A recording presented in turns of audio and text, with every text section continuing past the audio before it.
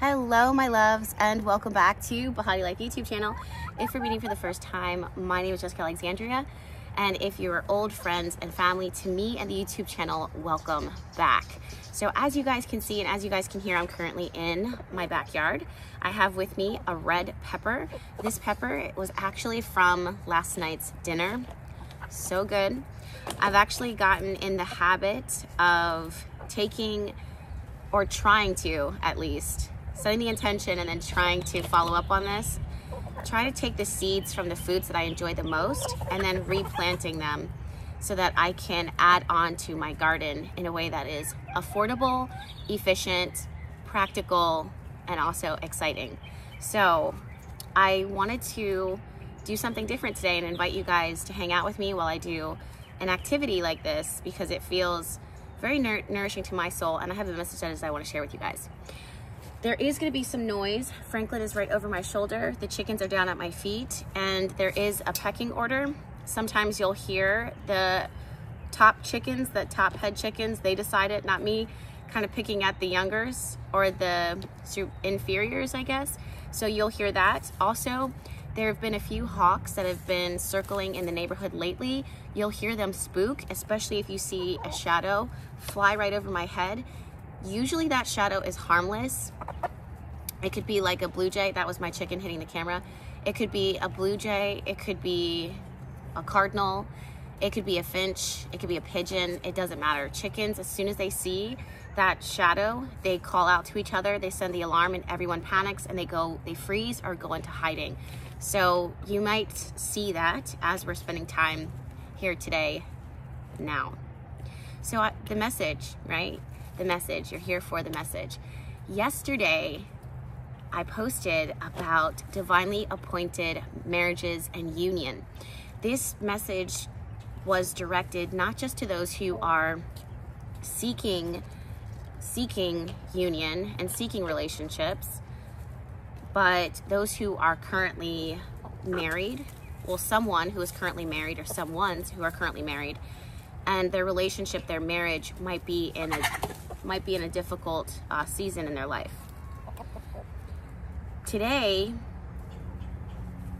I was getting ready for, like during my meditation, and I was reminded of the feeling, the vibe, the message that I got months ago, or maybe a couple months ago, when it comes to those who are single and dating in today's times.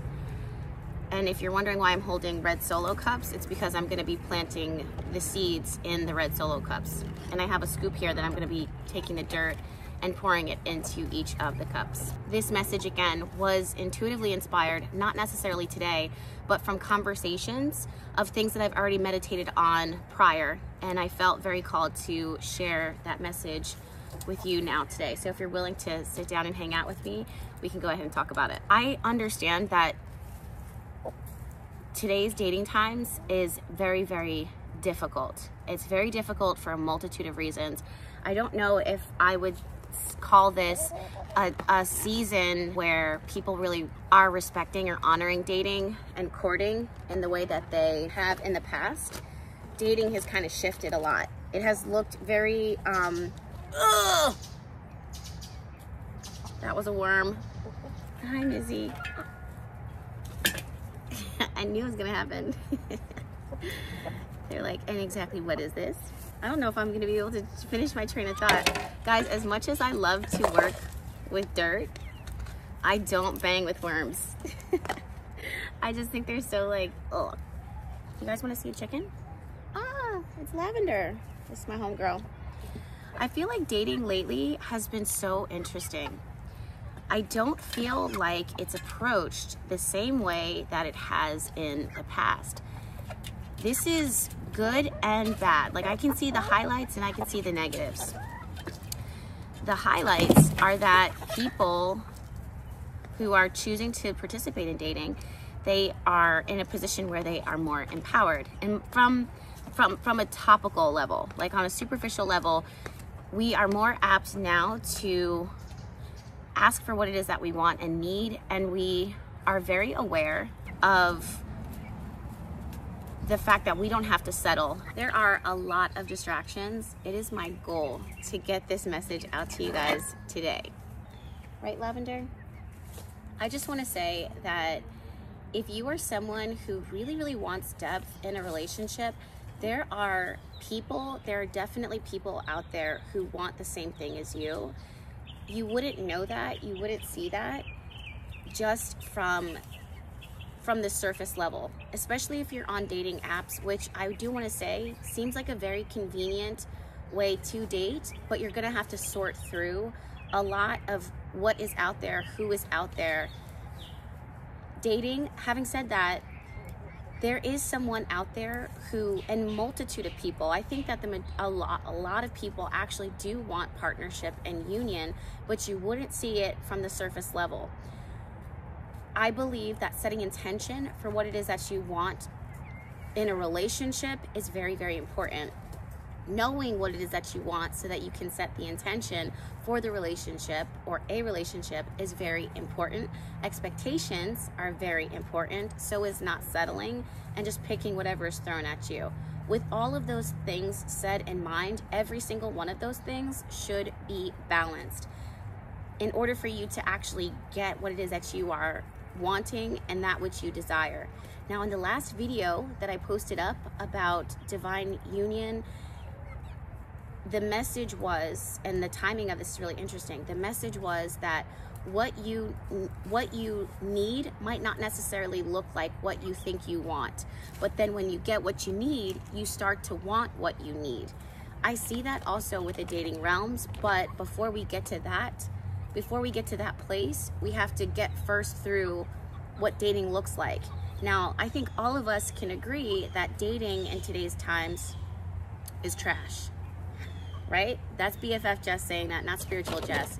BFF Jess will say that dating these days kind of seems a little trashy, not in the sense of how people show up, but the way that it's kind of handled, it almost to me looks like people are mishandling it would be one thing and I can respect it a little bit more if it actually matched what I think people genuinely want. But I don't think that the way that people date these days or the way that people show up for each other these days or meet each other, because it's not really dating, doesn't really reflect their intention and their true heart. And that's why I say this ain't it. Because then it's not authentic, it's not moving with integrity.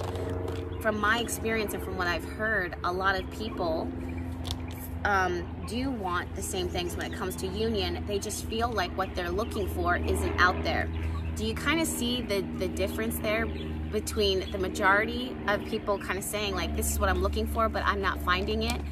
And then the places that they're, but the way that they move and the way that collectively as a society, the way that we're moving doesn't match what we want it doesn't match. It's not moving with integrity. Integrity means that my actions, what I say, what I do, matches what it is that is my intention, what it is that I want.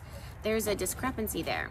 So I'm saying this to you now to let you know that if you are someone who is dating for depth, do know that the odds are actually in your favor because if we peel back the layers, if we dig to the bottom of the the red solo cup that's filled with dirt, you'll find that there's a lot of people who want what you want. And if you are someone who shows up with intention, balance expectations, and not settling, you will get that which you're looking for.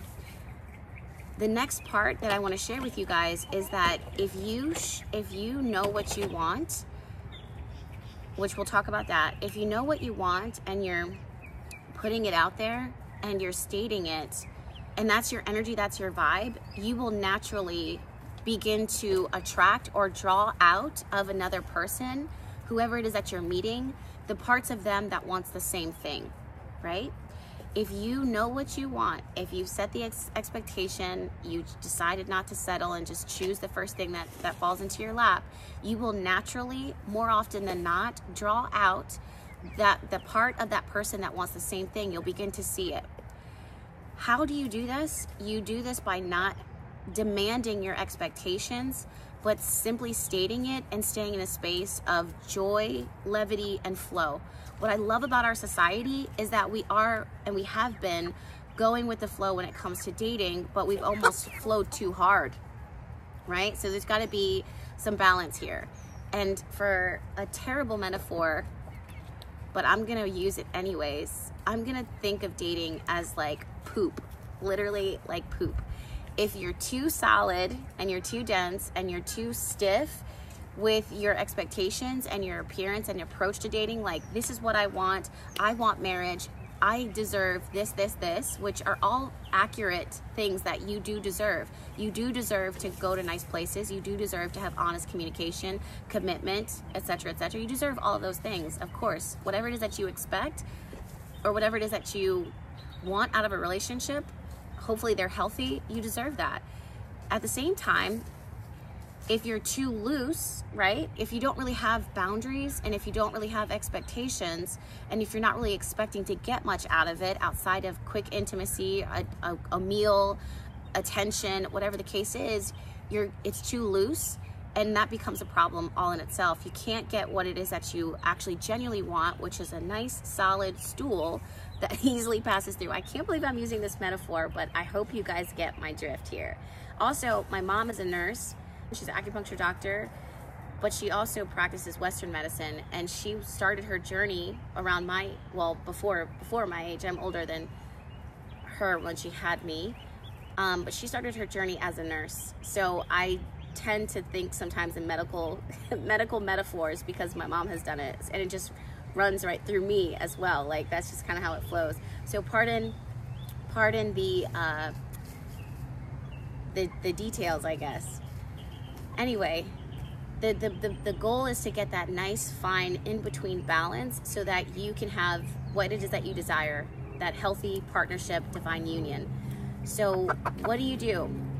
You start to approach dating knowing that there's opportunity for very high chance and opportunity for you to find exactly what it is that you are looking for, that which you desire. You have the expectation of what it is that you would like to get out of this and the hope of what it is that you want to get out of it. But knowing that in order to get to that higher expectation, that next level, we would have to then be open and flowing enough to date, to meet with play, with openness. This means that when you meet someone, you might not necessarily choose whoever it is that you're meeting, you might not necessarily be choosing them based upon physical, immediate physical attraction or sex appeal. You, even though you're setting the expectation that you want to meet your partner or you want to date, those things are beautiful. It's not that you won't find it. It's not that you won't, you just don't know, you might not know exactly where it is that, it's going to come from.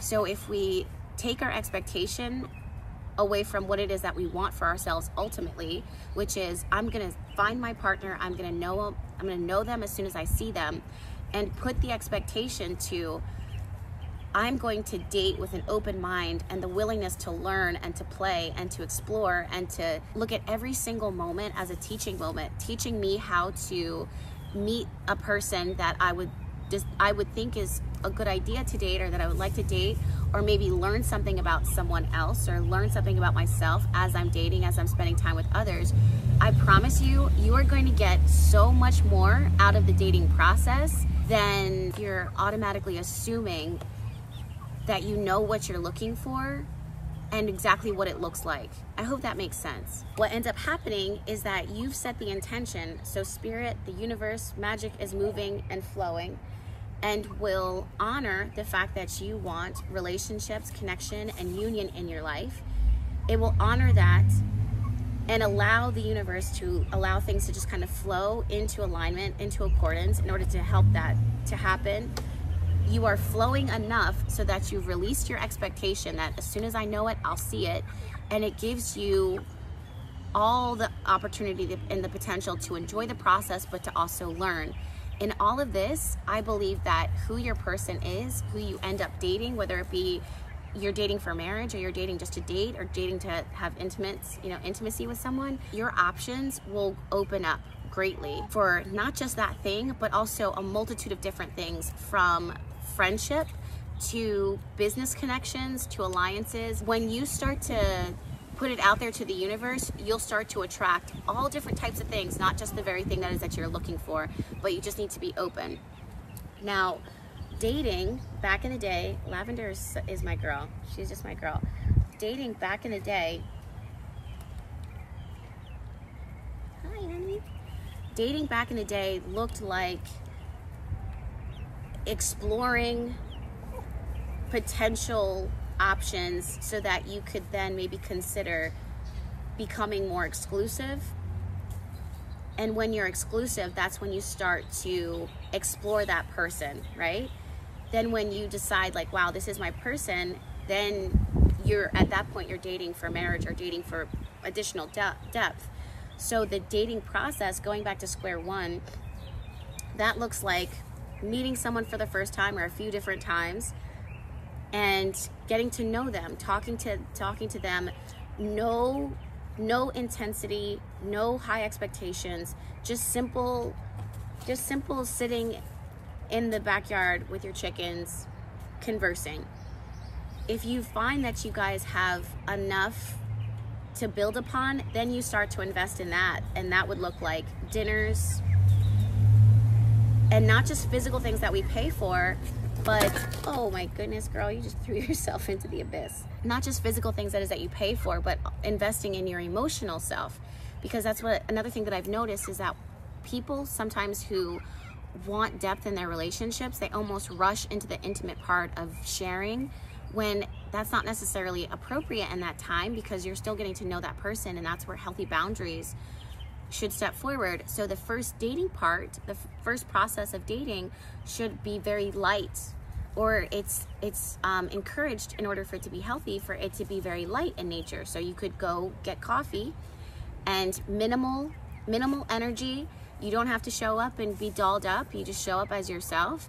You're getting coffee, you're getting you're going bowling, you're going for a walk on the beach. You say goodbye. Second part of that, when you start realizing after a few of those small dates, you know what, I'm starting to like this person. I'd like to take you out on like a genuine date. And that's where that's where a little bit more effort goes in. That's something that I'm sure maybe you guys would have talked about in the dating process, right? So you guys are on the same page. The next level of dating is going out to dinner, spending more time together, putting more effort into your appearance, actually wearing something nicer than what you would normally wear. And then eventually, a few of those can lead into maybe considering becoming exclusive because you've learned enough about this person that you're like, now I want to explore you a little more. Now I'd like to get to know you better. In all of this, I do want to say too the disclaimer that we live in a time where, in all of this, you could choose to have intimacy with your partner. I don't think that it necessarily will always set things up to spiral, but when you think about getting to know someone, not just to date, but even in friendships, sometimes it can be a little bit, it can be a hindrance to give all of yourself, whether that be your emotions, your trauma, your baggage, so to speak, like the things that we carry within us, our bones, over to another person, including our bodies. It can create some, like a jump from one step to the next step. And sometimes it makes it more difficult to backtrack and to fill in the spots in between. Now I know that that's going to be a trigger point for some people. Some people are going to be like, Jess, I disagree with you.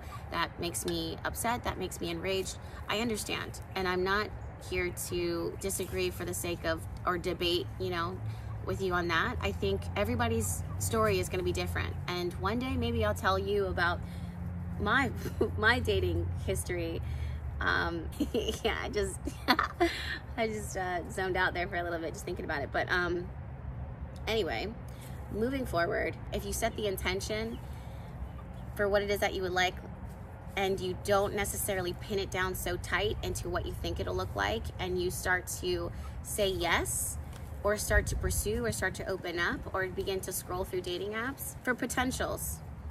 Not to find what it is that you ultimately will marry or or partner with or be boyfriend girlfriend with or girlfriend girlfriend or boyfriend boyfriend with not to get to that point, but just to be like, I'm putting it out there, but in the meantime, I'm gonna literally enjoy this process. You being able to enjoy the process and see this, oh, like, I may not necessarily be so attracted to this person, but there was something about them that was intriguing to me. There's something about their character, there's something about their history, there's something about their job that I found was interesting, and I would like to talk to them about this. You are going to get so much out of this. Not only are you going to end up with your per- your person, your partner, but you also find friends, you'll find connections, you'll find help, you'll be building community. I will say this too.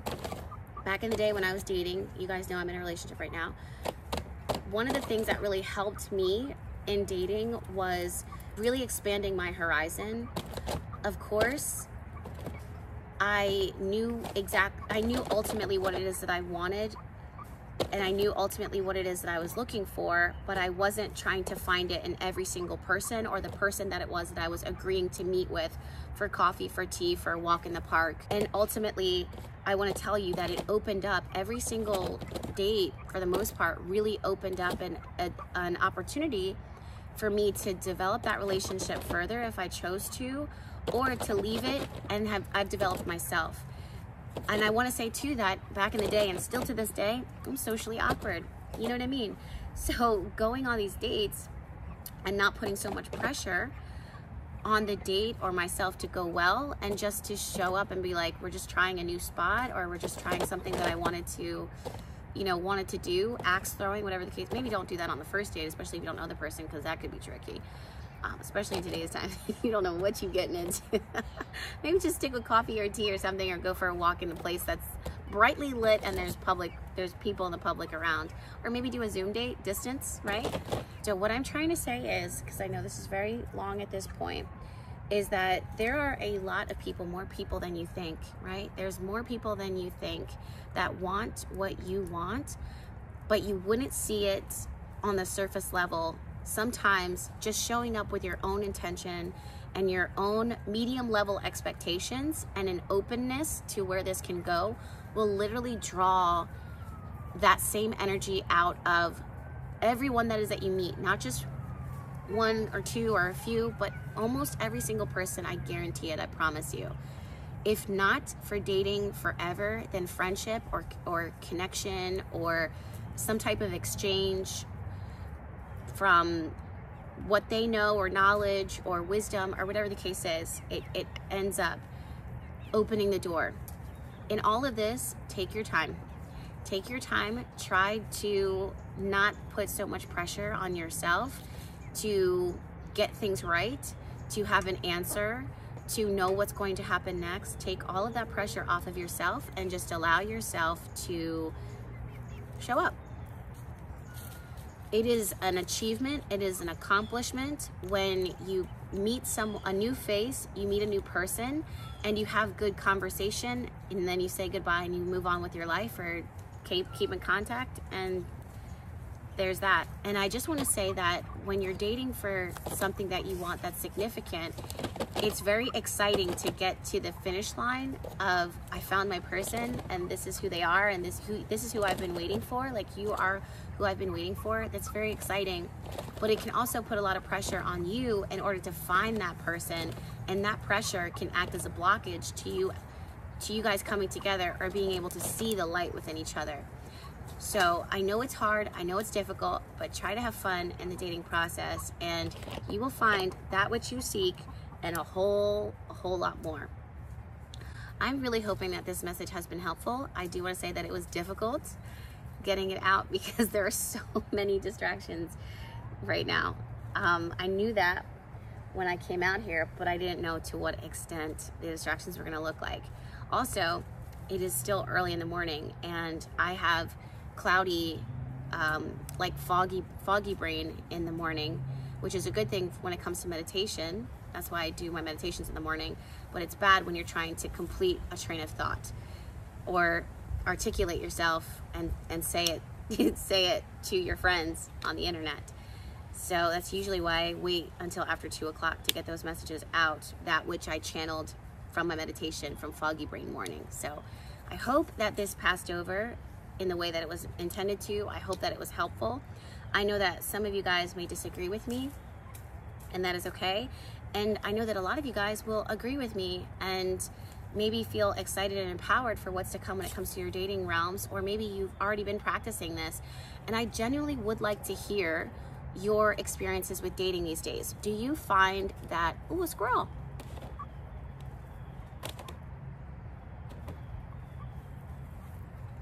Hi. So cute. Sometimes they know, they see the chickens and they would like to partake, partake in some oatmeal and some cantaloupe. Wow, I'm so distracted. Um, what have you, what have been your experiences with dating? Have has it been uplifting? What do you what have you been finding? How have you been dating? What have you been choosing to date? Like are you using apps? Are you using word of mouth? Have you ever done a matchmaker? These are I love conversations about dating, by the way. Um and what has your what have your experiences been like?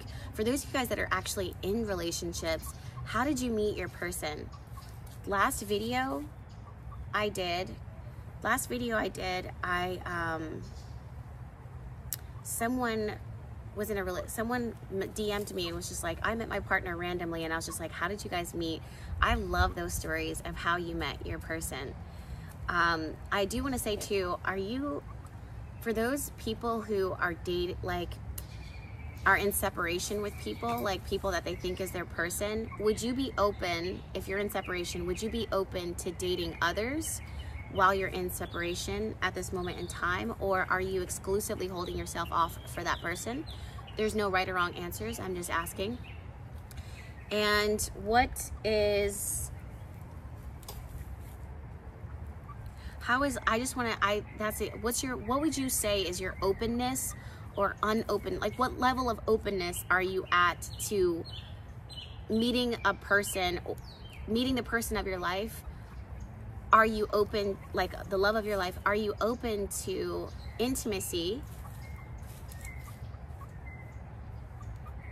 Or you're not open to connections at all. The intimacy question might be a little bit too intimate, like too private, and I respect that too, so you don't have to answer that. Feel free to answer whatever, but I would just like to open the conversation up in the comments. Also, thank you guys for sitting with me with all of the madness going on. I know that this video is a little bit longer than usual um, and definitely different for my channel, but I just knew that I wanted to come on here, plant some seeds with you guys, and uh, chit chat. I know it's not a prophetic message, a hundred percent prophetic message, that it's more my conversations with um, friends and family and clients from prior and my own little mini rev revelations, which are traditional in a sense, but I think helpful and beneficial. They have been helpful and beneficial to me.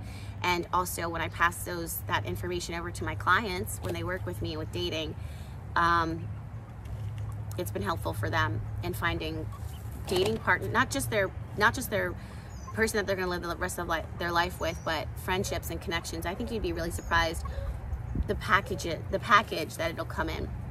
And the package AKA is a person, you know, you just never know. So I will keep you guys posted on the growth of these red pepper plants.